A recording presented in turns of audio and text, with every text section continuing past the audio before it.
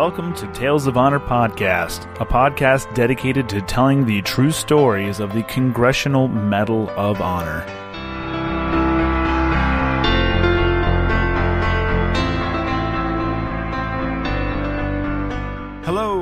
Everybody, and welcome to Tales of Honor Podcast. I'm your host, Christoph Ambrose, and tonight's episode, I'm actually coming to you live from Troy, Pennsylvania. Uh, went on a little road trip this weekend, took my daughter up to see my parents, and uh, Usually, I try to get all my recordings done ahead of time so when I do go out on trips, I don't have to worry about missing an episode or doing exactly what I'm doing now, which is recording an episode mobily.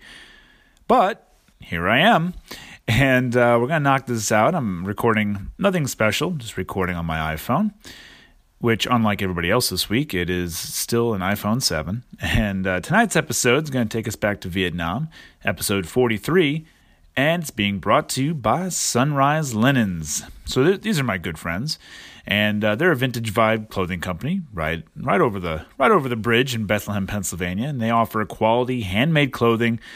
And like like everything great in this world, it's made right here in the U.S. of A.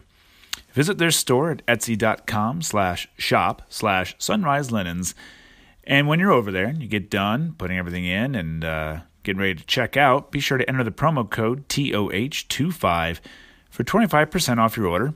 And be sure to follow them on Facebook and Instagram for new items and clothing lines. Like they just uh, they just put up their winter collections. Going to be coming out here shortly. So keep yeah, guys tune into them to see what's coming out. Sunrise Linens for nostalgia and wandering. And now, a tale of honor. Humbert R. Versace was born in Honolulu, Hawaii on the 2nd of July, 1937, and was the oldest of five children. His mother, Marie Rios, was an author, and one of her books was The Fifteenth Pelican. This book was the basis of the popular TV show The Flying Nun, which starred Sally Field. Rocky, Humbert's nickname based on his middle name, grew up in Alexandria, Virginia, and attended Gonzaga College High School in Washington, D.C.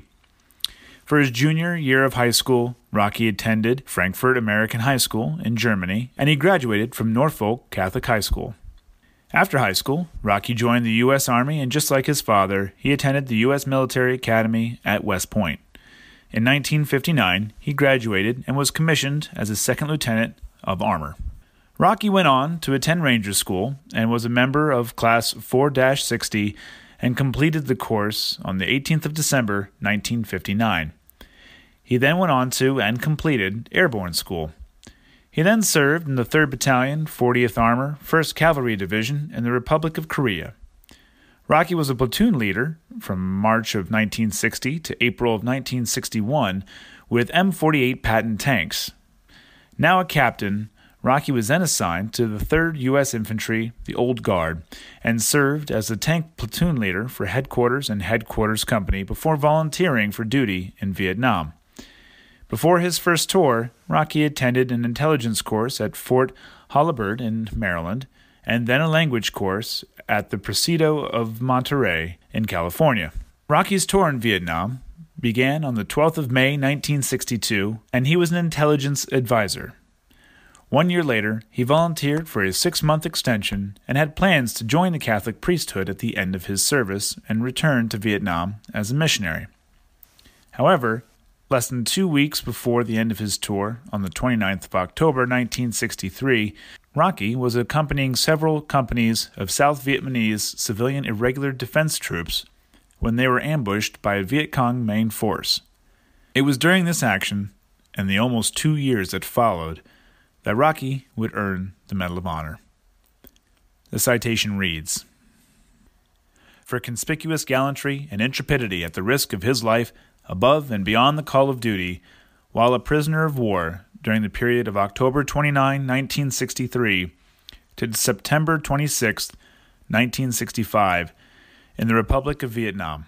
While accompanying a civilian irregular defense group patrol engaged in combat operations in Thoi Binh District An Xuyen Province, Republic of Vietnam, on October 29, 1963, Captain Versace and the CIDG assault force were caught in an ambush from intense mortar, automatic weapons, and small arms fire from elements of a reinforced enemy main force battalion.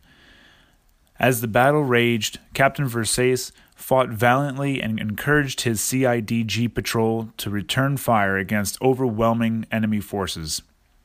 He provided covering fire from an exposed position to enable friendly forces to withdraw from the killing zone when it was apparent that their position would be overrun, and was severely wounded in the knee and back from automatic weapons fire and shrapnel. He stubbornly resisted capture with the last full measure of his strength and ammunition.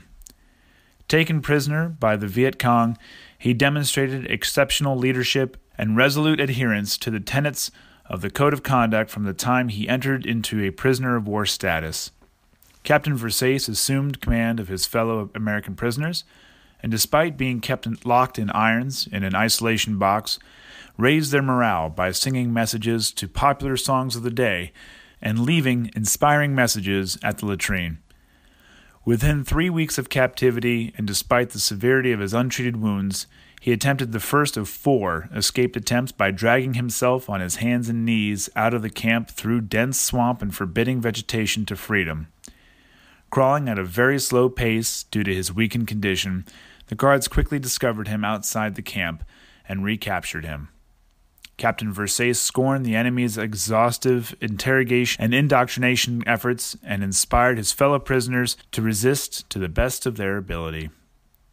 When he used his Vietnamese language skills to protest improper treatment of the American prisoners by the guards, he was put into leg irons and gagged to keep his protestations out of earshot of the other American prisoners in the camp. The last time that any of his fellow prisoners heard from him, Captain Versace was singing God Bless America at the top of his voice from his isolation box. Unable to break his indomitable will, his faith in God, and his trust in the United States of America and his fellow prisoners, Captain Versace was executed by the Viet Cong on September 26, 1965. Captain Versace's extraordinary heroism, self sacrifice, and personal bravery involving conspicuous risk of life above and beyond the call of duty were in keeping with the highest traditions of the United States Army and reflect great credit to himself and the U.S. Armed Forces.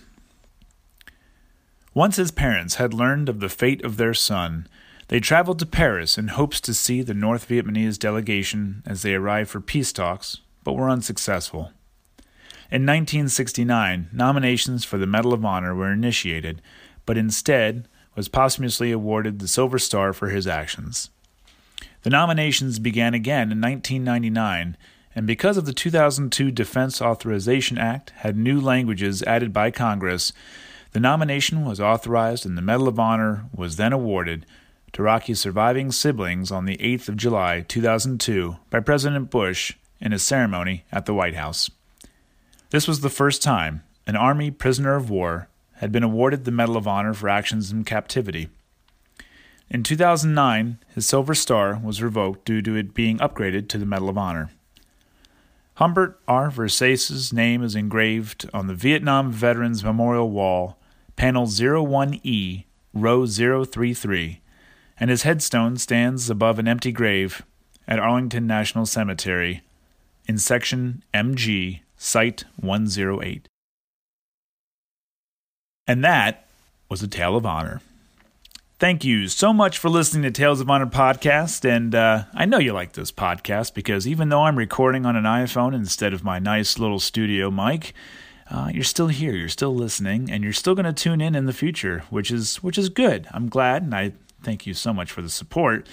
And if you like this podcast, go ahead, leave a nice review. And uh, if you're the guy or gal who decided to leave me a three star rating and not write a review, as to why you left me a three star rating, well, let's just put it this way. Um, I kind of wish you never did, and uh, don't do it again. you can see more information on Facebook and Instagram and at talesofhonorpodcast.com. If you have any questions or comments, you can send them to talesofhonorpodcast at gmail.com. And until next time, I'm Christoph Ambrosch. Thanks for listening.